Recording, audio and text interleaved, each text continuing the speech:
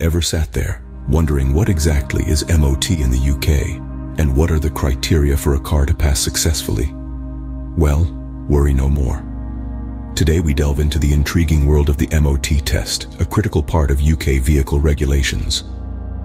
In the United Kingdom, MOT stands for Ministry of Transport, the government department that introduced the test.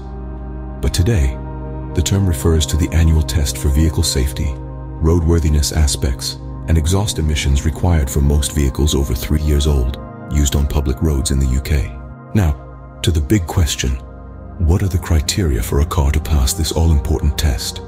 Well, it's a pretty comprehensive list. The vehicle's body structure and general items will be inspected for excessive corrosion or damage. There's more emphasis on areas where corrosion might cause an injury. Lights, the vehicle's most critical aspect at night, are also thoroughly checked.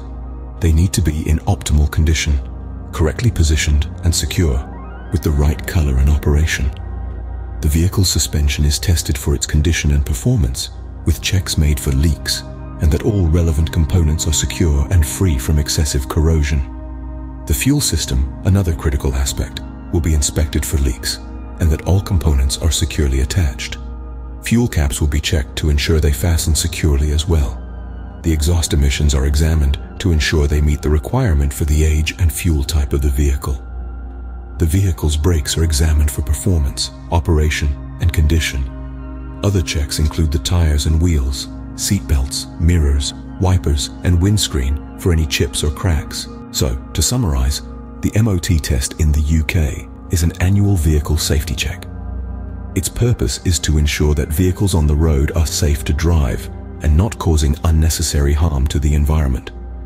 The test covers a wide variety of vehicle aspects, including the body structure, lights, suspension, fuel system, exhaust emissions, brakes, tires, wheels, and several other essential components.